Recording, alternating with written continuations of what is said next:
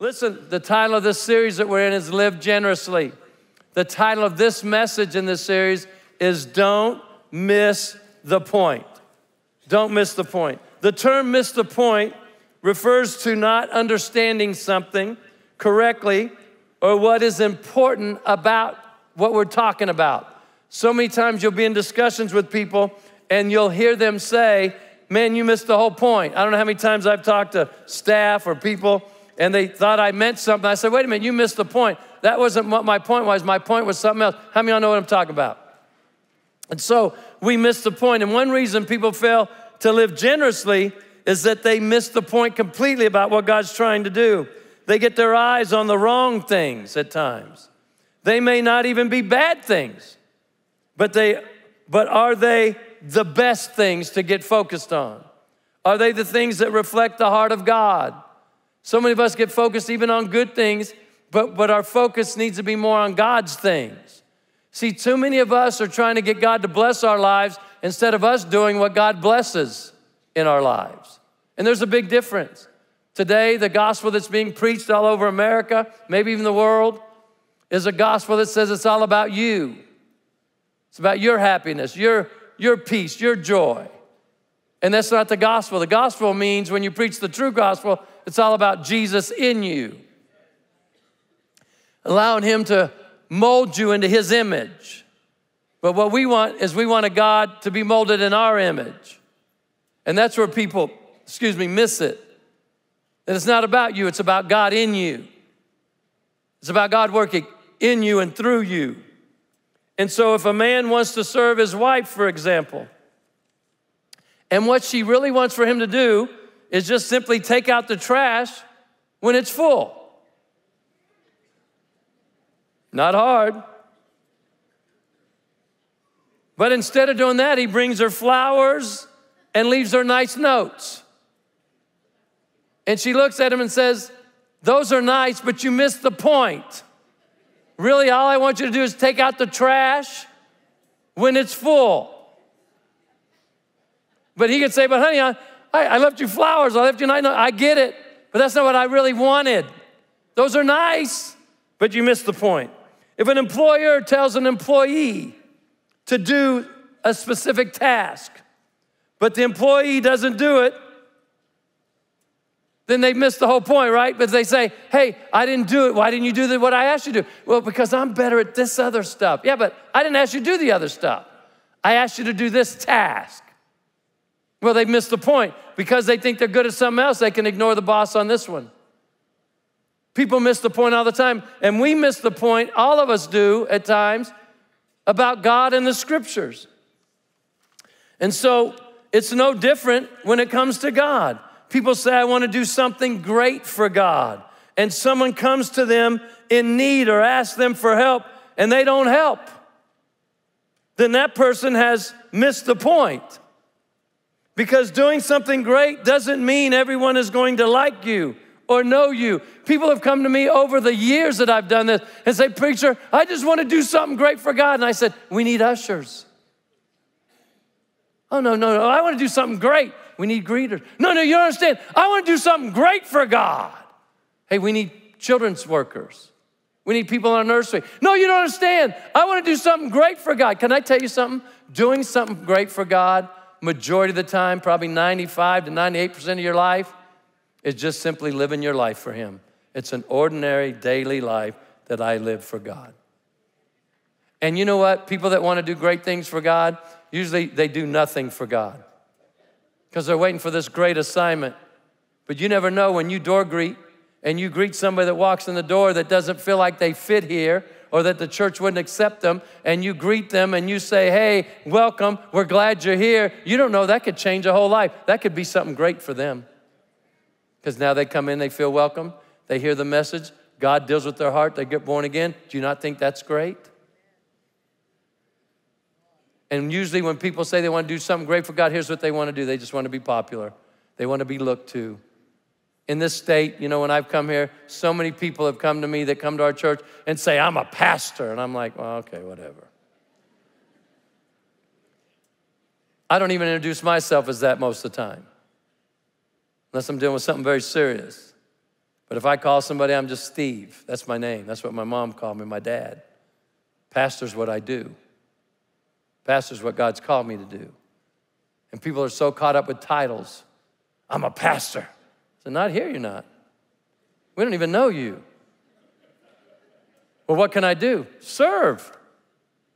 Oh, yeah, but I, am better than that. I said, okay. Well, you're too good for God then because you're all about titles. You've missed the whole point of what serving is. Years ago, God told me if I wouldn't serve Him from down here, ushering and what I did for the church, I could never serve Him from up here. And people who want to do something great for God, they need to realize, and we all need to realize, doing something for, great for God is just simply living a life doing normal daily activities. You know, teaching your kids as you go. My wife years ago went through the bank and the bank teller gave her an extra $20 and she stopped and counted it. And she told my daughter, she said, Man, the bank gave me an extra 20 bucks. Some Christians would have said, God just bless me. That's way they think, which is so wrong. Your heart's wrong. So my wife said, Oh man, she didn't feel like it, but she said, Kristen, I got to go back around. We got to go sit in line. She was, you know, going through the drive through. So she had to go sit in line between three or four cars, behind three or four more cars, waiting just to give the 20 bucks back. But when she did, the teller said, Thank you so much. Because you know what? You may think it's a blessing of God, but someone's going to have to pay that 20 bucks. When the teller comes up short in her drawer, she's going to be like, Oh my gosh, what happened? And someone took it thinking, stealing. So in our normal daily lives, my wife taught my daughter we don't take anything that's not ours. Nothing. See, most of the time, living for God is not spectacular or supernatural. It's just living your life daily, trying to do the right things, learning to forgive when you've been harmed, learning to receive forgiveness when you've messed up, learning to repent quickly when you've messed up. You know, that's, that's living your life. It's not it's not rocket science. But most people think something doing great for God is being popular. And if popularity was the key, if influence was the key, then why are all the Hollywood people and the politicians so jacked up? They're messed up people. But if power and popularity did it all, but that's what people seek. And let me help you out with something else too. People think, well, why does God bless people like Bill Gates and Soros and all these weird weird people. And you know what? Who said God was blessing them? See, we think the same way the Pharisees thought in the, in the, in the Bible, or the, the people there, that, that if you were blessed or you were rich, it was God blessing you. But, folks, let me tell you something the difference between them and us, why we should never compare ourselves. If you're a believer purposing to serve God, even though we all make mistakes, we all sin and come short of the glory of God, but we purpose to serve Him, then the enemy resists you. There's an enemy out there called the devil. And he comes to steal, kill, and destroy, and he resists your life. He doesn't want you to prosper. But to the world, he doesn't care what they make. He doesn't care what they have because he knows they're going to use it to work his kingdom, not God's kingdom. See, we got to get biblically knowledgeable. Even climate change that you hear so much about. It's propaganda. There are a ton of scientists that don't believe in any of it, but you never hear them. You know why? Because the media won't let you. But as a Christian, what are we to believe? If you believe in climate change, one of the main components of climate change is human beings' carbon footprint on this earth. And here's what they say we're ruining the earth because there's too many people. Did God say that? No. God said, be fruitful and multiply. It'd have been different if Genesis 1, God had said, be fruit, and Genesis 2, be fruitful and multiply, but when you get to 7 billion, that's too many. You got to stop. So no more sex. Yeah, everybody's laughing like, what? What you talking about, Willis? But he didn't say that. God's word's eternal. He said, Be fruitful and multiply. If there was 10 billion people on the earth, we still wouldn't be ruining the earth. If there was 20 billion, we still wouldn't be ruining the earth. We think God made the earth too small for people. But here's what these people are they're so ungodly. that they worship the creation. Out of Romans 1, he said they, they thought themselves to be wise, they became fools, and they worship the creation over the creator who is blessed forever. Amen. And when you worship God's creation, you get you you you miss the point and you get focused and you think the that you think that the um, we were made for the earth instead of the earth made for us. And the earth was made for us. It's not the other way around. So when you're a creation worshiper, you can believe in that junk. But when you're a creative, when you're a creator worshiper, you believe in what God says. Now, I don't think we should pollute our waters or all that. I don't believe in all that, but I, I don't believe in all this stuff. And, and, and, and our carbon footprint is ruining what? The creation they're worshiping. That's why when people say Mother Earth, I say, My mama's name is Phyllis. And I only got one, and it ain't this earth. Because they're worshiping the creation. Animal activists that are always going out there crazy, they just missed the whole point. They, they, it becomes their religion. Environmentalists, it's their religion, it's their faith. And we should have enough faith in God to say, listen, let's just keep being fruitful and multiply. Why? Because God said it and it's for eternity. It'll never stop. Well, God knows He doesn't want you to have more than 2.5 kids. No, God doesn't care. God wants your quiver full. That means you can have about seven and be okay. So, when the women say that the shop is closed, you can look at our men and say, but baby, we have more for, we need to fill our quiver. Let me know how that goes, but just, just send me a note.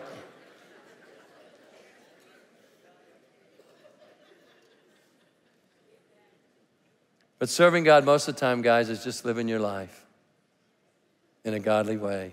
And when we blow it, we repent. So are we really serving God if we aren't purposing to do what he says? John 15, 10 says, When you obey my commandments, Jesus' words, you remain in my love, just as I obey my Father's commandments and remain in his love. How do we know we love God? By just doing what he asks. But, Pastor, what if I blow it? Then you blow it. Then we repent, then we get up and start again. Thank God for repentance. Thank God for forgiveness. Listen to Matthew 25, verses 31 through 45. And I'll read this. This is the words of Jesus, not Steve, not Legacy Church. But when the Son of Man comes in his glory and all the angels with him, then he will sit upon his glorious throne. All the nations will be gathered in his presence, and he will separate the people as a shepherd separates the sheep from the goats. He will place the sheep at his right hand and the goats at his left. So you want to be on the right side of things. Someone say, What did he mean by that? Some of you are slow, but you're worth waiting on. Go ahead, then the king will say to those on his right, Come, you who are blessed by my Father, inherit the kingdom prepared for you from the creation of the world. For I was hungry and you fed me, I was thirsty and you gave me a drink. I was a stranger and you invited me into your home. I was naked and you gave me clothing. I was sick and you cared for me. I was in prison and you visited me. Then these righteous ones will reply, Lord, when did we ever see you hungry and feed you, or thirsty and give you something to drink, or a stranger and show you hospitality, or naked and give you clothing? When did we ever see you sick or in prison and visit you? And the king will say, I tell you the truth, when you did it to one of the least of these, my brothers and sisters, you are doing it to me. Then the king will turn to those on the left, progressive left. There's no such thing as a liberal Christian. That's fallacy. That's not real. No such monster in all of the kingdom of God. People tell me that I'm a liberal Christian. No such thing. What you are is deceived. And I'm not saying Democrat, Republican, I think they're all terrible. They're all ruining this country. So you can't label me that way because I'm way too conservative to be a Republican and I'm way too smart to be a Democrat.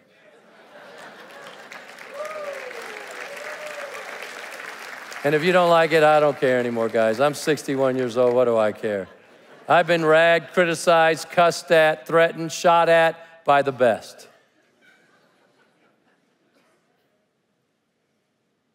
But he said, if you're on the left, then the king will turn to those on the left and say, I'm having some fun, by the way. He says, Away with you, you cursed ones, into the eternal fire prepared for the devil and his demons. For I was hungry and you didn't feed me. I was thirsty and you didn't give me a drink. I was a stranger and you didn't invite me into your home. I was naked and you didn't give me clothing. I was sick and in prison and you didn't visit me. Then they will reply, Lord, when did we see, ever see? They called him Lord. When did we ever see you hungry or thirsty or stranger or naked or sick in prison and not help you? And he will answer, I tell you the truth. When you refuse to help the least of these, my brothers and sisters, you are refusing to help me. And they will go away into eternal punishment, but the righteous will go into eternal life. Folks, what we're talking about in this series is living generously with those cards that I held up a little bit ago. We're just talking about doing kind acts. If we want to reach our city, change lives, let's just do something kind. Let them know God loves them. We'll sow seed in their lives. We, may, we may not reap it here, but hopefully the kingdom reaps it someday. But we're to sow seeds constantly. Just like a farmer sows seeds, we're sowing seeds.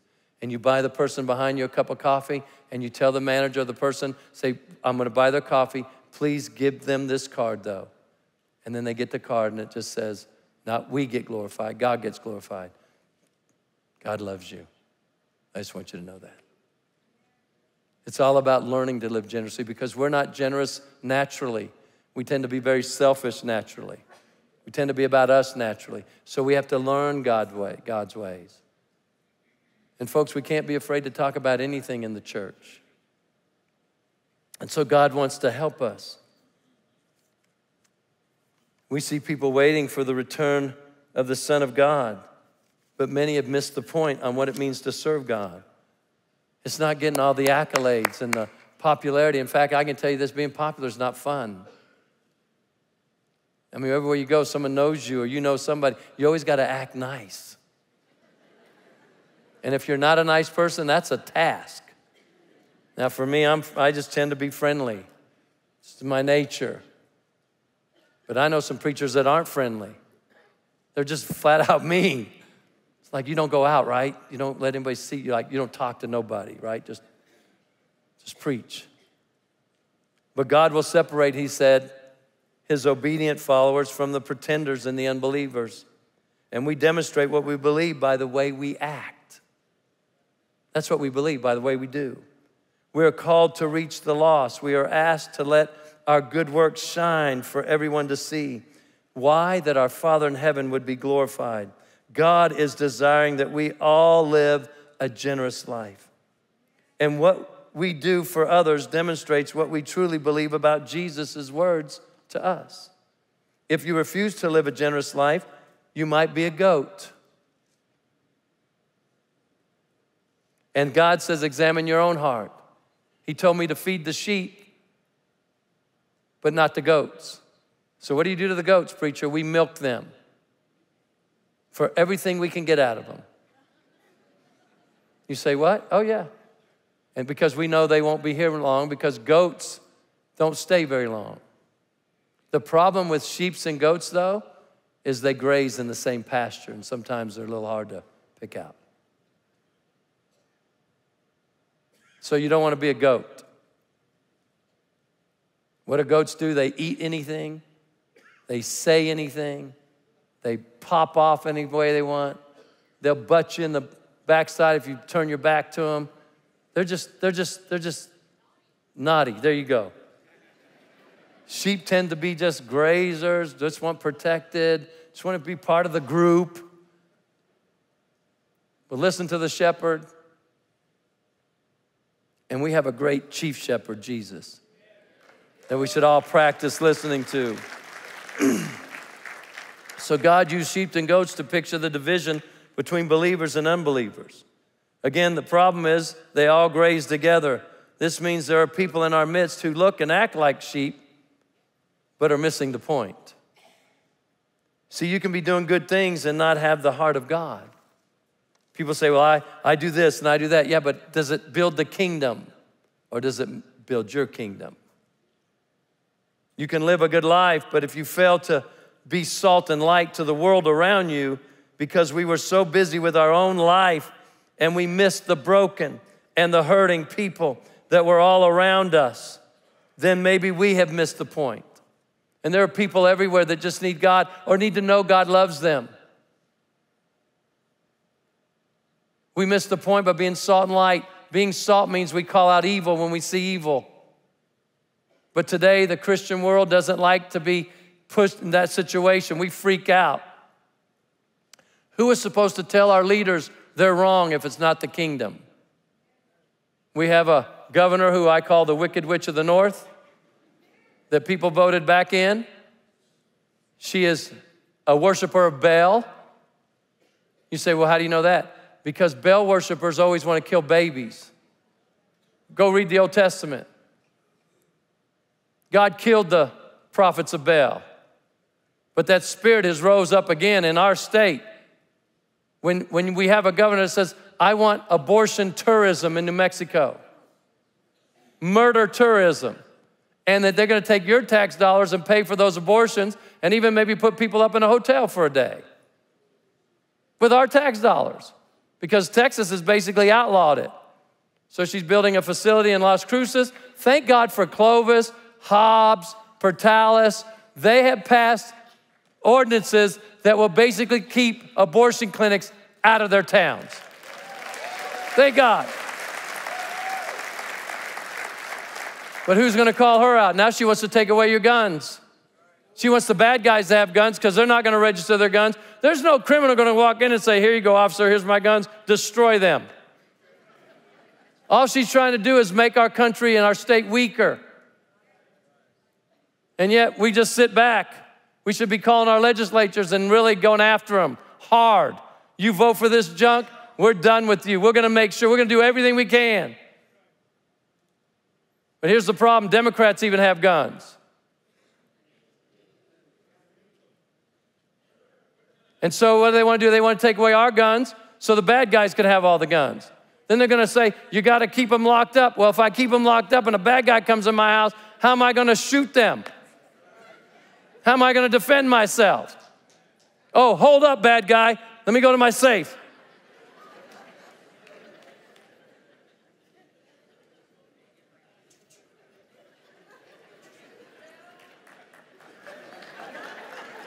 And I'm not even a mime.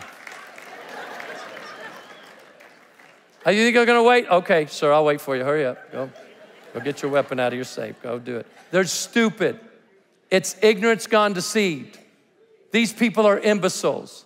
The governor is a reprobate. That means she has no thought of God at all. None. She's deplorable. And me, as a Christian, I want to hang on to my guns and religion, just so they know. But see, we don't want to be salt because salt speaks out. Have you ever been to a place that's real humid? I've, I've gone to people places that's real humid and they'll say, What are these crackers in the salt shaker? Anybody ever wondered that? Some of you are like, What are they in there for? I've seen that. Because where it's real humid, if they don't put salt to absorb the moisture, that salt gets clumpy and has no taste. Now, here we don't have to do it because we live in a dry climate. If you saw crackers in here, you'd think there's something wrong, like there's a disease in here or something. Don't eat that salt. And so we got to be salty.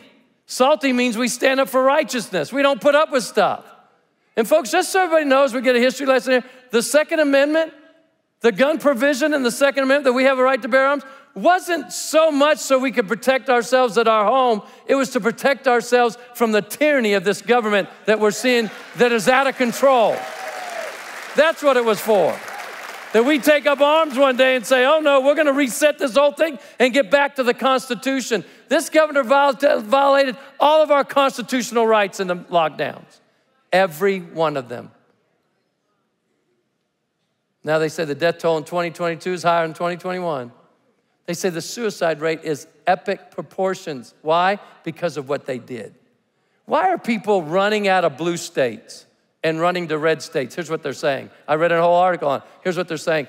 We're safer in the red states than the blue. The blue states crime rate is too much, and we have one of the highest crime rates.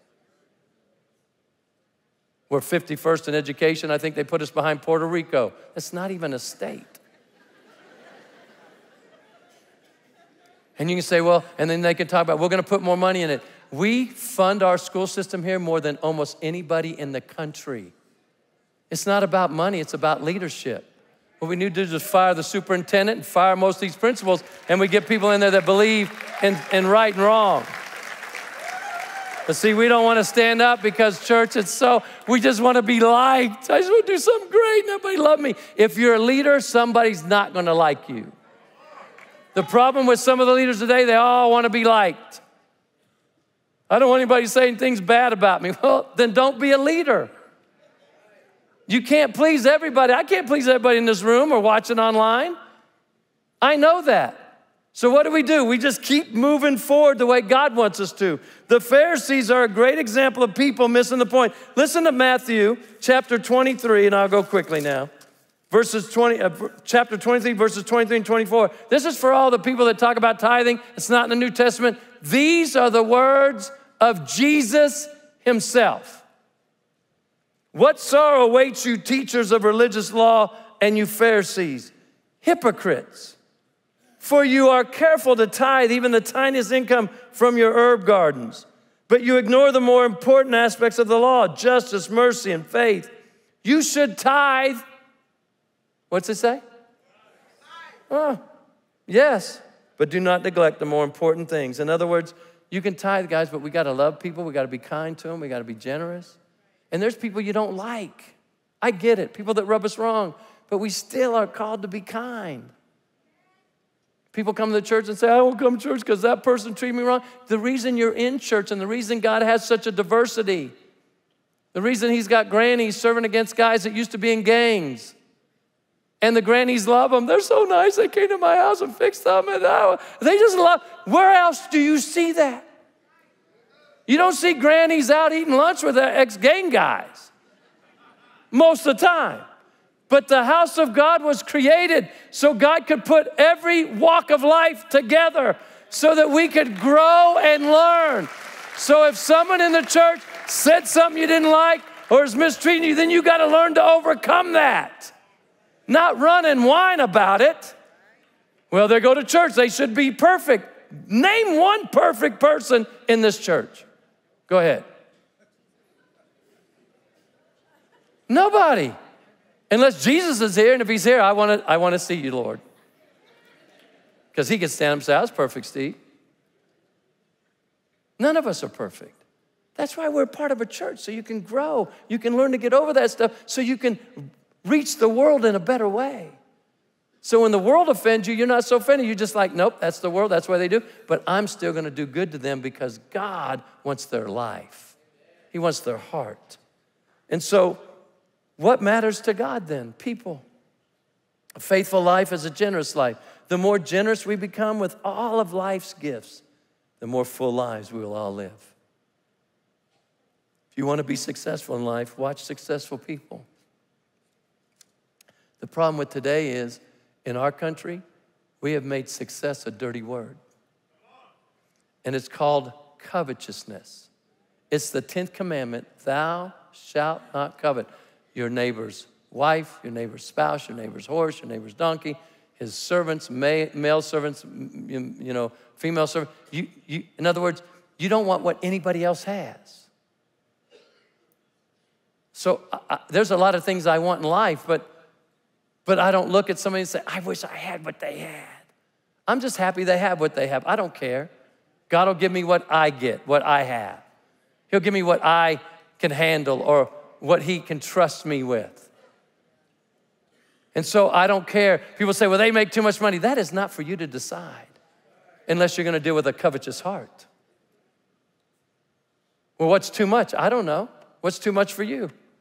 I'd like to win the lottery at $100 million. Some would say, well, that's too much for you. No, I can handle it. And I would have it forever. Why? Because I know how to handle money. Some people, doesn't matter what you make, you'll still be in debt because you spend everything. You tithe 10, you save 10, and you do what you want with the 80. That's how we should live. What we do is we spend 120%, and the 20% we don't have. And that's what creates debt. And then that's what gets our focus off. We miss the point, and we say we can't honor God because of it. So we should look at successful people. And what you'll find about all successful people, they work their tails off. They work hard. They work a lot. Today in our country, if you work 40 hours, you're, well, I work 40 hours this week, I'm so tired. Like, really? If you did it God's way, you'd work from sun up to sundown. Well, take that one. Like, what? How many hours is that? I don't know, 60?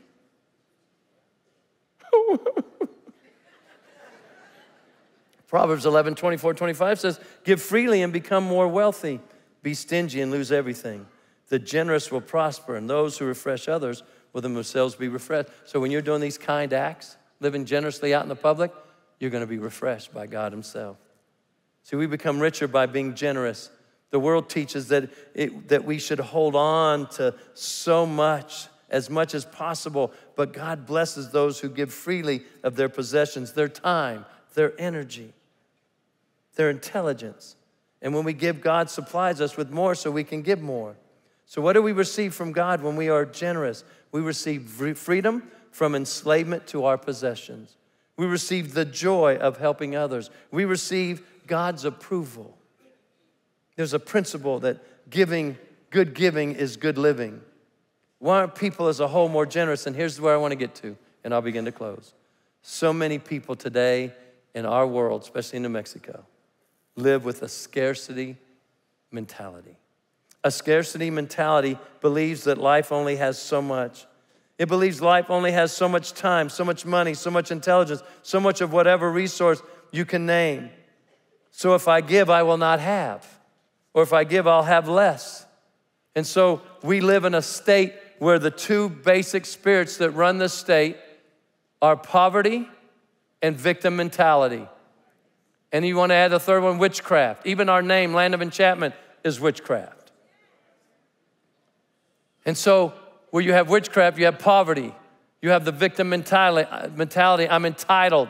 So many people today in our world that are call themselves Christians believe they're entitled to heaven. You only get to heaven on God's terms, not yours. And God has a way for us to get there. But you don't get to pick the way, He chose the way. And so we have this scarcity mentality that we're afraid that, that, that man will run out of resources, that God only has so much. God didn't make the earth too small. He could prosper every one of us and still have stuff left over. But what does He say He'll prosper you with? Your needs being met. Most people get upset when their wants aren't met. We forget and we get our focus on the wrong things. We miss the point. So, scarcity mentality or mindset is when we believe resources are limited and it causes us to be hyper fixated or fixation. When we become fully engaged in something that they can't think of anything else. When we get so fixated on certain things we can't think of anything else, that's a byproduct of scarcity mentality or mindset. You also have short term coping instead of long term problem solving. You just want to sweep things under the, rucket, rug, uh, under the rug. You want, to, you want to just hide things. You want to dismiss them. You don't want to deal with them. We just don't want to deal with them because we don't want them fixed. We just, we just don't want to talk about them. That's the problem with this mindset. The other one, it increases stress and jealousy. And if you don't know, jealousy is one of the number one things for theft, killing, murder, all those things that are bad, jealousy is a part of it. It's an awful spirit, but it increases that. So we get so stressed out, then we get jealous of what others have. And we think, well, there's not enough. No, we need to understand there's more than enough. There's more than enough. And when we think this way, we will think wrong. God has an abundance of provision for all of us if we'll just do what He says. And how do you defeat this type of thinking? We must renew our minds and believe that God sent Jesus, and Jesus said this in John 10 10 The thief cometh not but to steal, kill, and destroy. I am come that they might have life and that they might have it more abundantly. God has enough for all of us if we choose to believe Him. But if you have that mindset, you need to ask God to deliver you from that. And the way you get delivered is by start acting differently. Do something for somebody else. Honor the God and His kingdom. Bless the house of God. Because the abundant mindset is when you believe there are plenty of resources for everyone. And then you practice gratitude and purpose to begin to give, to tithe, and to live generously. And I'm not talking about just with your money, I'm talking about with your words, with your actions. The soft answer turns away wrath. Sometimes we need to talk a little quieter, not like, hi, how you doing? But not like, hey, not like, like some of you jumped. But when we're dealing with something, a soft answer turns away wrath. We need to practice living a generous life. And then God said, the world of the generous gets larger and larger, but the world of the stingy gets smaller and smaller. But we can all help someone else by doing intentional acts of kindness and generosity. So if, you, if you're here, go by guest services booth in the middle of the foyer, get some of these cards, and do some kind acts, and people will know that God loves them. And a lot of people just need to know that God loves them. Most people that, and that are lost, they think God hates them, and the whole time God loves them but they just need to be told. By the foolishness of preaching shall men be saved. That's how it works. We share our life. We live ordinary Christian lives, but we have a supernatural God that can help us. And when people look at our lives and say, man, when things go wrong for you guys, handle it so differently than everybody else. Yeah, because we have a God that's more than enough. And that should deal with the scarcity mentality or mindset and give us an abundant mindset where God can truly bless you. Father, in Jesus' name, I thank you for being here. I thank you for teaching us. I thank you for the folks in Tucumcari that are now part of our family. I thank you for blessing Pastor Tammy and, and, and Pastor Eddie and their team, Lorenzo, and, and their leaders. We thank you, God, for adding to this house daily those that would be saved because that's your heart. And Father, as we go forth today, may we be delivered from this scarcity mindset, this, this thinking that is just so wrong. That somehow there's not enough resources, that you made this earth too small, which is not true. That's the deception of the world. That's what the world wants us to think. Because if we think that way, we won't think that God, you're a big God. And you actually are the creator. And that's the one, you're the one we should serve and honor, not the creation. You're the only one blessed forever, not this world. So teach us your ways, oh God, that we might know you and know your ways. In Jesus' name. If you're here with every head bowed, whether you're online or sitting in here, and you say, Preacher, would you pray with me? I walk with God, but I walked away. I want to get my life right today. Preacher, would you pray with me? I've never really given God my life. I believe He exists, but I've never submitted my will to His. And you Say, how do you do that? By believing in your heart and confessing with your mouth the Lord Jesus, you give God permission to your life to lead and direct, to help you in all aspects of your life. He'll never condemn you nor forsake you. But you have to trust that. You do it by faith, believing that He's real. So if you're here today and you're in one of those two spiritual conditions, you say, Preacher, would you pray with me? Right where you see it, I'm asking you to do one simple thing, and I want you to do it without any hesitation. You just honor God here and say, God, I want you in my life. God, I need you to forgive me. I've walked away, but I'm ready to come home. If that's you in Jesus' name, right where you see it, all of his place, in the powerful name of Jesus, would you right there at your seat, and I'm gonna pray with you at your seat, would you just lift your hand now and say, Preacher, include me in your prayer? God bless you. God bless you. Thank you so much. God bless you. God bless you. God bless you. God bless you. God bless you. God bless you. God bless you. God bless you guys. God bless you over here. Thank you so much. We're all going to pray together, but I want you to lift your hand. You say, Why? Because I want you to confess. This is a form of confession. The Bible says if we confess Jesus before man, he'll confess us before our Father. Just you're lifting your hand as a form of confession, and it's saying, I don't care what anybody else thinks, I want God in my life. The other thing is, I just want to know who I'm praying for. God bless you. Thank you for that hand. I'm gonna look across the top one last time. Anybody? Thank you. God bless you. God bless you. God bless you. God bless you. God bless you. God bless you. Thank you. God bless you. Thank you so much. As I look across the top some more, anybody else? Anybody else say, Yes, pray for me. Thank you. God bless you. As I look across the bottom, say, God bless you. Thank you. Who else wants to join these folks? We're all going to pray together. But you need to acknowledge, I want God in my life. Thank you so much. God bless you. Thank you. I saw that hand. Father, in Jesus' name, you saw all those hands. There's so many people. Thank you so much. People changing their lives today. They're learning to live generously by giving you their life and saying, okay, God, here we go. Teach me your ways. I, will learn to trust you. I'll renew my mind and my thinking to think the way you think because his thoughts are higher than our thoughts and his ways are higher and better than any of our ways.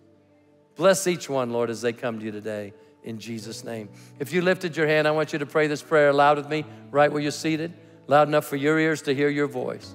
Would you pray this with me, church? Would you pray, Father, I choose to believe in Jesus. And I believe He's your Son. And I believe He's Lord of all. So today, I believe that with my heart.